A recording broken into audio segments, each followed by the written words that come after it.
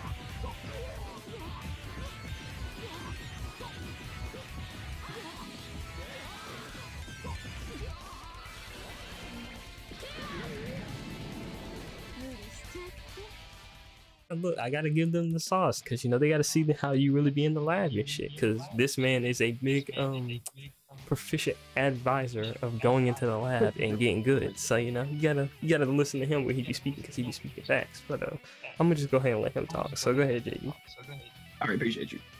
All right, what's good, y'all? All right, so um, if y'all know me from my um, JD channel, um, usually I do like gaming movies and like anime videos where I talk about animes in one video. Always But- linked in the description, by the way. Yeah, well, but not right now because you know most of my videos got removed, but we ain't gonna talk about that. But Yeah, anyway, is tough. um, so Tenkaichi, um, I'm excited for the game for sure. Um, me and Nas we watched it during the Dragon Ball. What was it? The Games Hour World? Finals.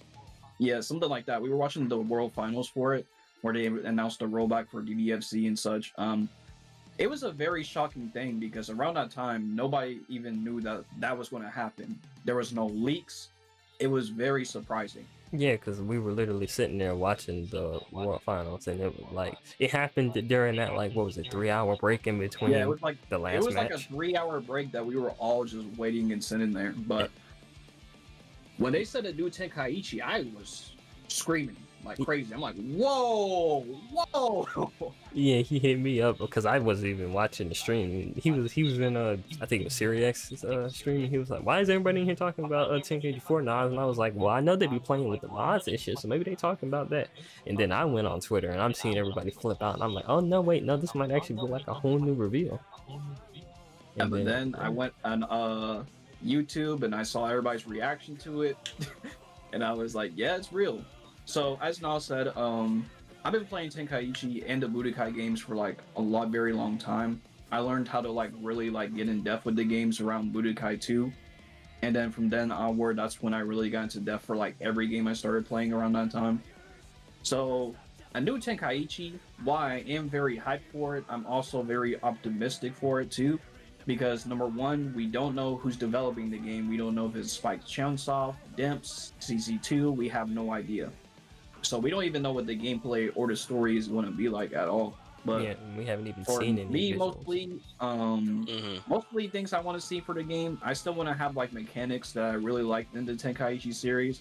Like I love things like having to dash cancel. I love having the the send combo canceling or how having the heavy smash combo canceling. I still want that stuff in the game, but again, that's if the gameplay for Tenkaichi is still the same because we could never know.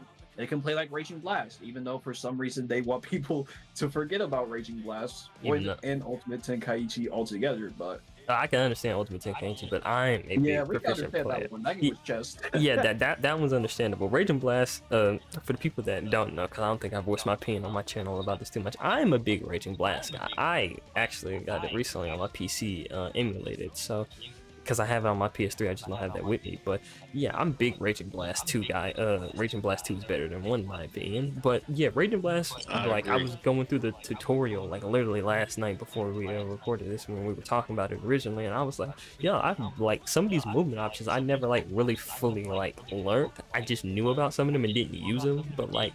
Looking at that and then looking at the Tenkaichi games, I definitely see some of the draw and inspiration for how Tenkaichi influenced it. But in my Yeah, opinion, definitely. Raging Blast definitely had some things that, you know, just being a newer game and being on the PS3, it did differently and things that I like. But also some things that, you know, Tenkaichi, I can't admit, did better.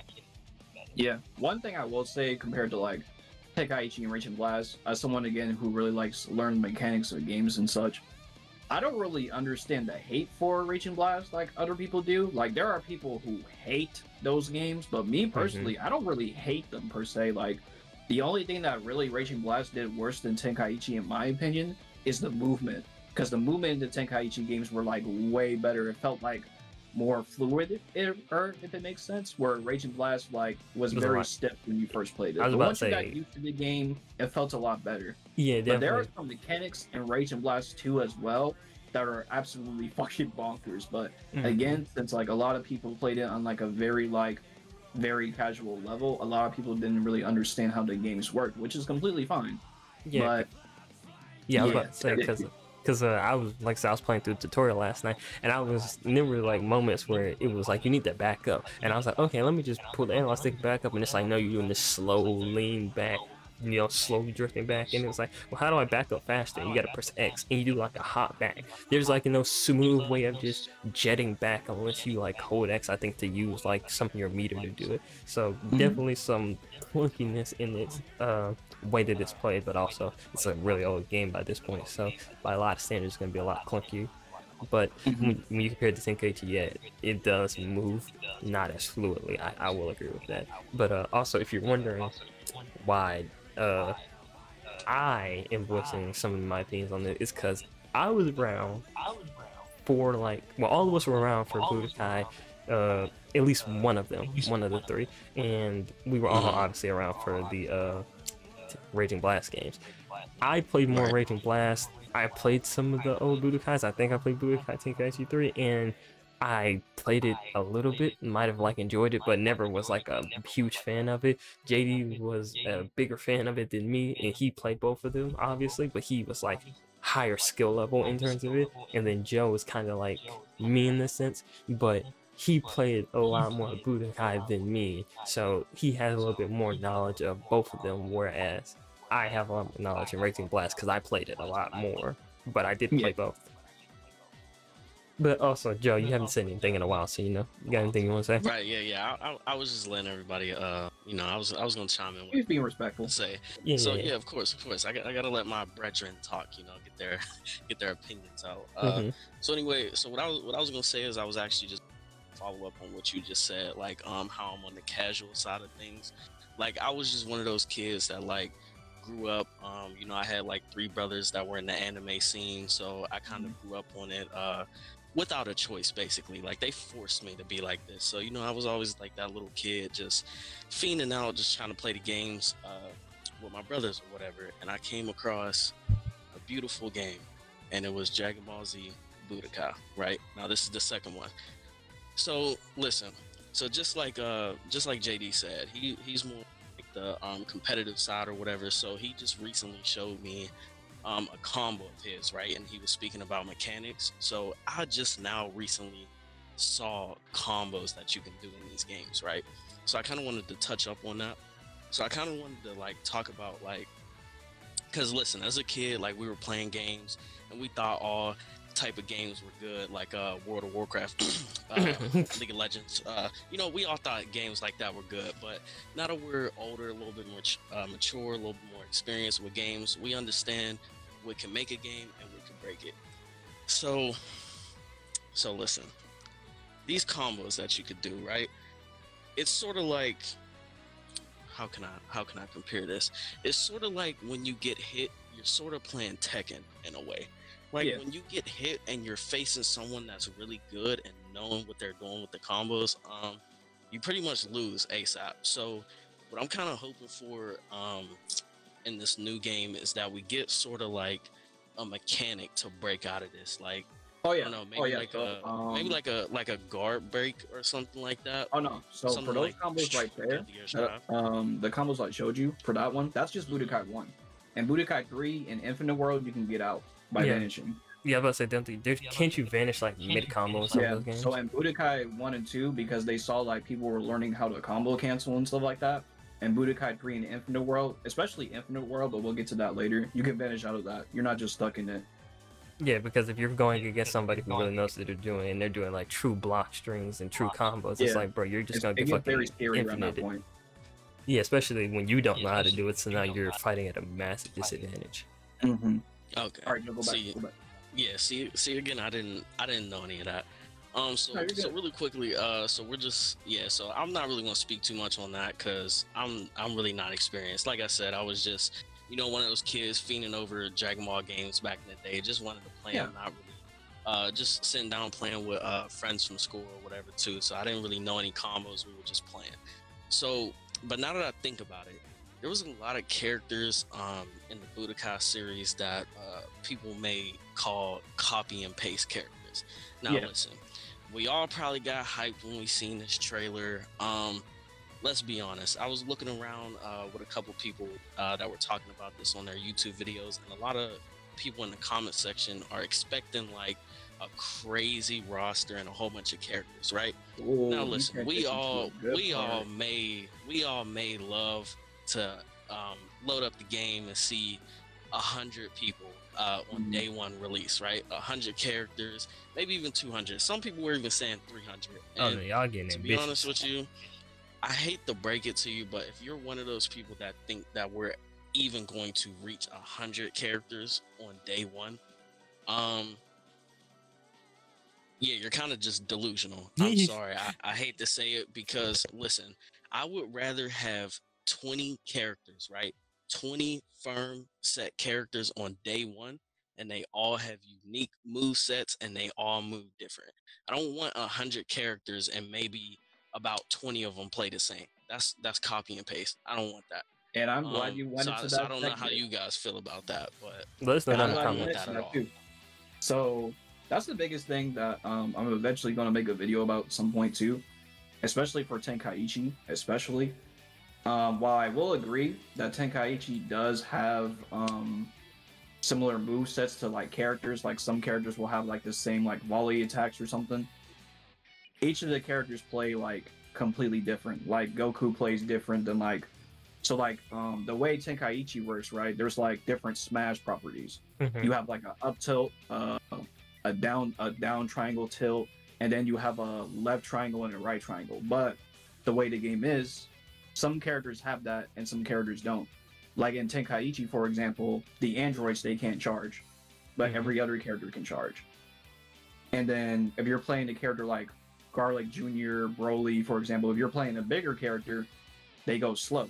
And yeah. then some characters, they have a mechanic to where they can't really combo that well compared to like other characters can. Like, um, once I really get into that video, we can go into depth. But I did, I am glad that like Joe's speaking from a casual point because here's the thing. Even for games, it's very important to have two sides with like people who know how to play the game and people who are like, you know, just playing playing the game. It's always good to have that front. Yeah, now cool. with the roster, at the most, I expect 40 to 60 characters. A lot of people need to understand that we are in a different time period. We are no longer in the PS2 era no more, to where they can just port the characters over to new games like that. And especially, we're on new hardware now. a lot of y'all gotta understand. It's been 15 to 16 years since Tenkaichi 3 came out, and now we're on PS5 hardware. And I'm seeing people, even in videos like Joe said, saying they expect to have a hundred characters on release. And honestly, I just don't see that. Yeah. Like the way I see it, they're Right. going to release 40 to 60 characters at most. We're going to have hella DLCs, and they're going to go from there. Mm-hmm. Like basically just giving this game um a lot, more longevity. Because one thing like people will be like is like, oh, Raging Blast Two had a a big ass roster. Because I don't know how many exactly, but you know, Raging Blast fucking roster was huge and it had multiple versions And in terms of what if characters transformations. too, if I remember. Yeah, it had, had like, like Super Saiyan legendary Super. Saiyan Broly. Broly was like Super Saiyan three. They had um like some movie characters, like obscure ass movie characters. Like I can't remember his name, but the dude in all red with the ability to absorb Didn't they shit. have Hirudegarn in that game? Um, what's that word in that game? Um, Hirudegarn was in that game. Yes. Hold on, let me Raging check. real quick, I wanna Raging verify. Blast Two, yeah, he yeah he was in there because in Raging Blast Two we we also had um uh for the first time Super Saiyan Three Vegeta, right? If I'm correct. Yeah, that he was in there too. Okay, yeah. So Hirudegarn was in there too. Damn, I honestly forgot that he was in there. But like the thing of uh, I, I just can't remember if we had Tapion though. no, I, I, I, I, I can't ooh, remember. Damn, I can't remember now. Did we have Tapion? See, I'd have to. We couldn't JD gonna have have to. Without Tapion. Oh no, no, no, no. Hirudegarn's not in that game. He's was- not in Raging Blast Two. Yeah, I'm looking at the character uh, roster right now. He's not in there. Yeah, I was about to say. I thought I would remember that. So was he in the first one though? Maybe the first one because I, didn't play which one he Raging was Blast in. one. But but to like because he, he was definitely one of them. But my Yeah. bad. Go ahead. No, you good. You might have been the first one. Like I said, I didn't play that one, so I can't speak on the roster. JD could look it up again uh, if you need to. But the thing I was gonna Yeah, say, that up because I didn't even know.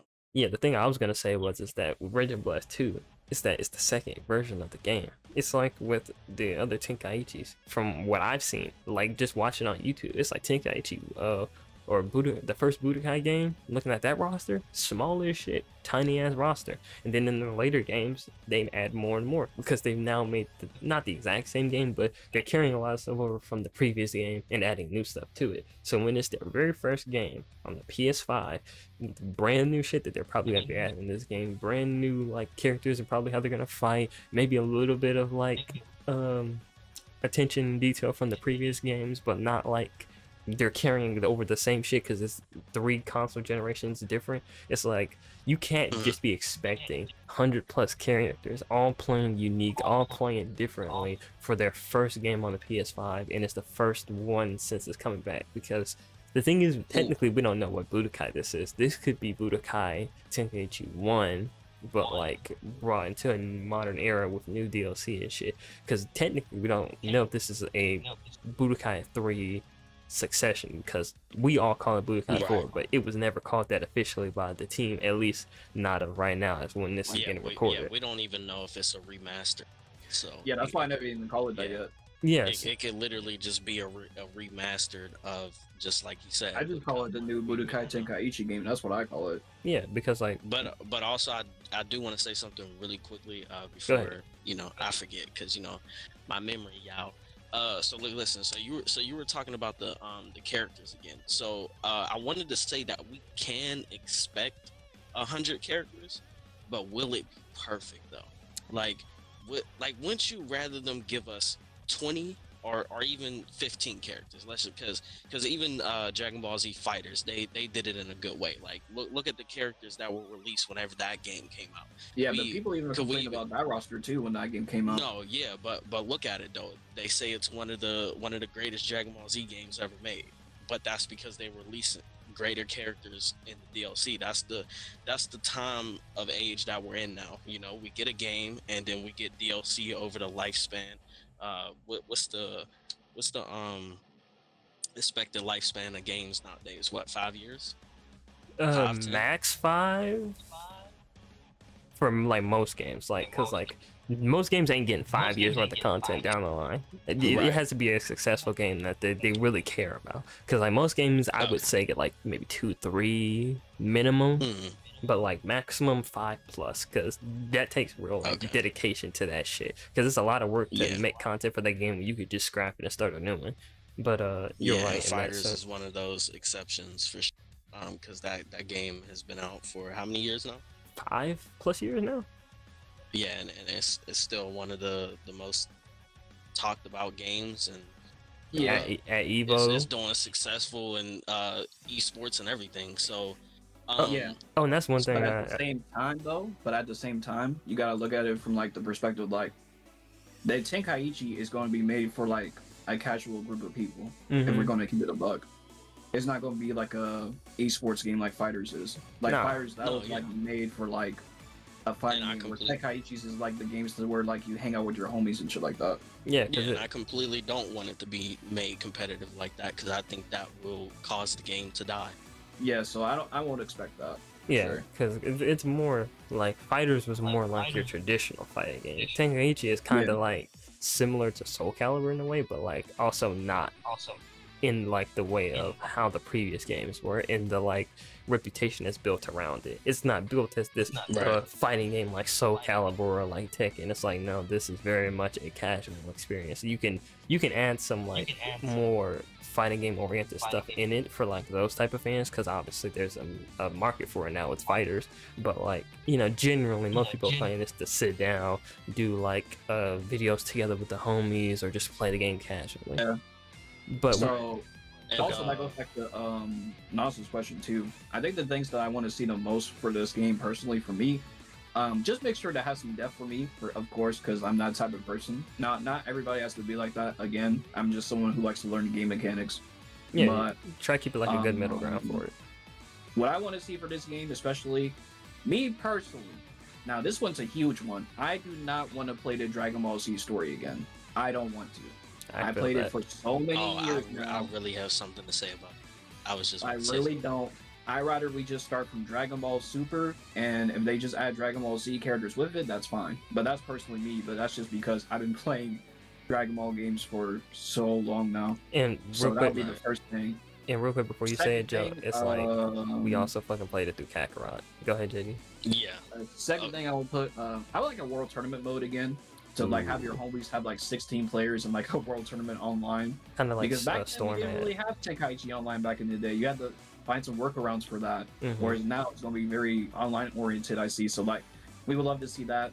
Um, definitely have some lobbies in there. I do not want this to be a Naruto Storm or a Demon Slayer situation to where we have to beg for lobbies because a month after release. That.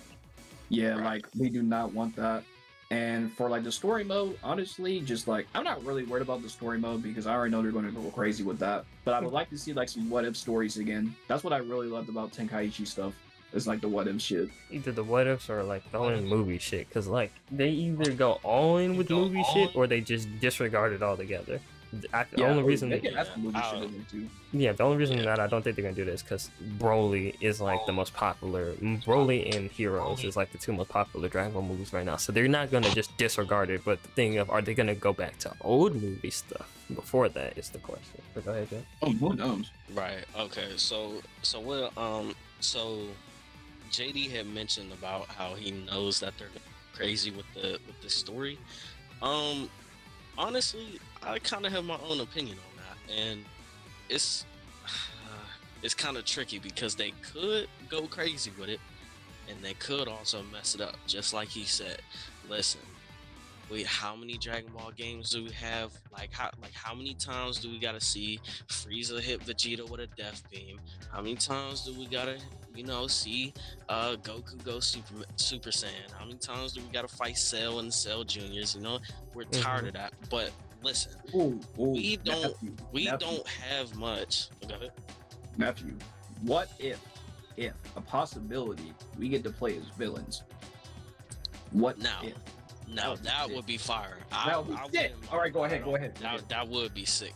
but now listen, so I agree with what he said about how we should probably just automatically have the Dragon Ball Z characters. I agree with that. And then he also said that we should just start from Super. Now, here's the problem with starting from Super, right? Because, okay, with Super, we got the Resurrection F arc, and then we got the um, the God of Destruction arc, um, and then we got the, the Tournament of Power, whatever. Yeah, that would be cool and all. We can go through that, you know, fight Jiren, Toppo, Lord Beerus.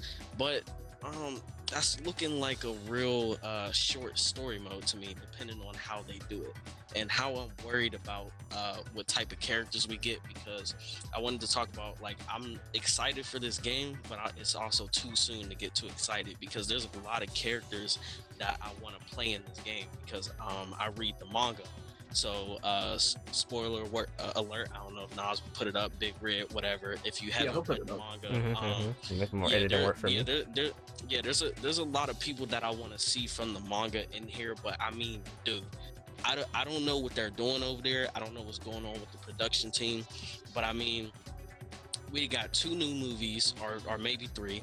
We got three new movies, and we still have no word on when Super is coming back for animation. Mm-hmm. So depending on how long that takes and how long it takes for this game to come out, how much of super content are we really going to get before they just start pushing out a whole bunch of what ifs? Now, what ifs are cool and all, but if I got to go through the the um, super story that we're already getting in Kakarot, and then I go straight into what ifs, I'm not really gonna be that happy, to be honest with you. That's what I don't want. I want to go through some new story new everything. I want new everything, you know, because Kakarot has the RPG or whatever. I mean, what uh, the newest DLC they just uh, what you get to play as Kid Vegeta? Is it the uh, Bardock. Bardock and stuff? Mm-hmm. Okay, yeah. So and then we got stuff from Super.